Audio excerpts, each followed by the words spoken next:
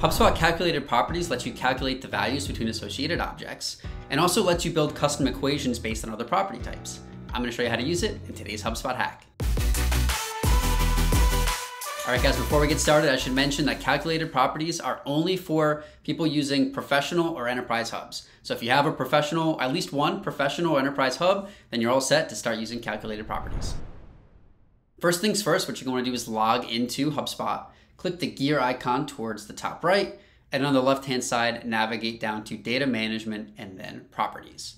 So there's a lot that we can do with calculator properties. Fair warning, if I showed you everything, we'd be here for a couple hours. So I'm gonna show you some of the basics that I've set up for myself and for some of my clients, and then also dive a little bit into more some of the custom stuff that you can do as well. So to create a calculated property, once you get to this properties page, click to create a property on the right-hand side. Just pick the group give it a label. We'll just call this our test property and click next. And for your field type, you're gonna scroll all the way down to calculations and then build calculation. So the custom equation builder is where you can do a lot of different really advanced things. You can do different output types. You can do formatted numbers, currencies, percentages, you can insert different functions and properties. I'm gonna show you how to use that a little bit at the end of the video because there's so much you can do. Right now, I'm gonna show you the different pre-built stuff that you can do with calculated properties, like minimum, maximum, counts, sums, averages, and time between. So for most of these here, like the count, for example, this will be counting associated record types. So what I'm gonna demonstrate a little bit on is from a comp like a contact, you want to know the associated support tickets that they have open, how many there's been. This would be a great example. So I'm going to pop back and I'm actually going to show you how that would work. So create property. The object type would be contact. The group will be just contact information. And we'll call this our number of open, number of associated tickets. Our field type will be calculation and build calculation. So instead of a custom equation, we want to do a count. We do want it to be a formatted number. And our associated record type is going to be tickets, right? Because we're calculating the number of associated tickets. So you can get more granular with association labels if you want. For this case, I just want to do all association labels. And then you are required to choose a property. So basically, it's only going to calculate it if this property is known on that ticket. So for this example, we only want to do it if the status is known. So any open closed tickets, doesn't matter what status is in, as long as it's actually in a status, it will calculate that property. And then we can click create and our number of associated tickets property is created.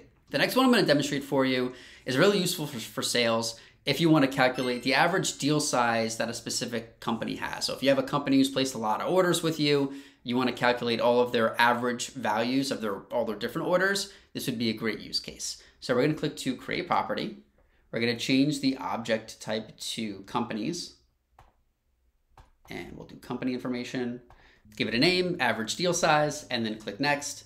Once again, our field type is going to be a calculation. And we want to do an average this time. So instead of a formatted number, we want this to be a currency because it's average deal size. The associated record type is going to be deals, and we'll do all association labels again. So the associated record property, we only want to calculate this if the deal amounts are known. So we'll scroll down to amount. And we do want to also use the conditions down here because we don't want to calculate this for deals that are open. We only want to calculate, you know, that our sales team is still working. We only want to calculate this for deals that have been closed won. So we're going to do create condition. We'll say closed won. Scroll down to is closed won equals, type to enter a number, and then just put in constant one.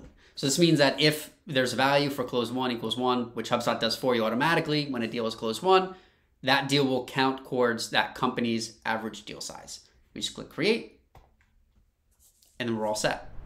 So I'm gonna show you some more advanced ones now. If I go into my deal properties and just hop to this page when I get here.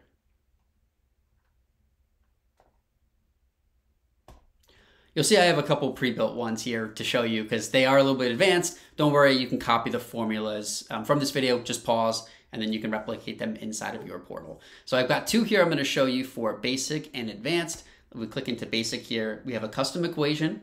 The number format is going to be currency. And this is using if the deal is closed won, it takes the amount of the deal and then times it by um, finds 20%. So if your commission value is 20% of the deal size, that's what you pay your sales reps, then uh, it'll automatically populate 20%. So you can see we can test this. Say our amount is $100, the deal probability, probability is 100%, meaning it is closed. When I click to test my formula, I get a commission payout of $20. So you could take this formula here, really simple, easy to set up. And you can get more advanced with commission payouts as well. So if I go into my advanced properties, you can see it's still a custom equation.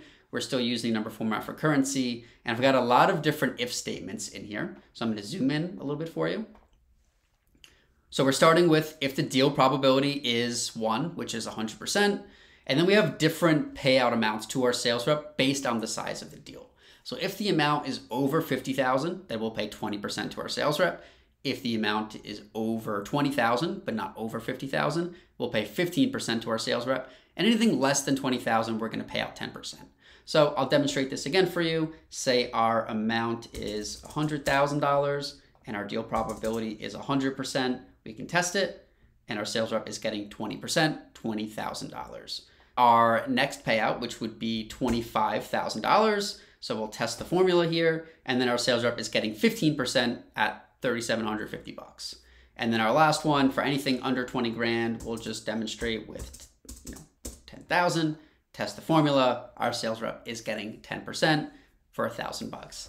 If you need any help setting up calculated properties, don't hesitate to reach out down below in the description. We'll have a link to our page where you can book a meeting with us. And I hope you enjoyed it. Make sure you like and subscribe for all the latest and greatest in HubSpot hacks.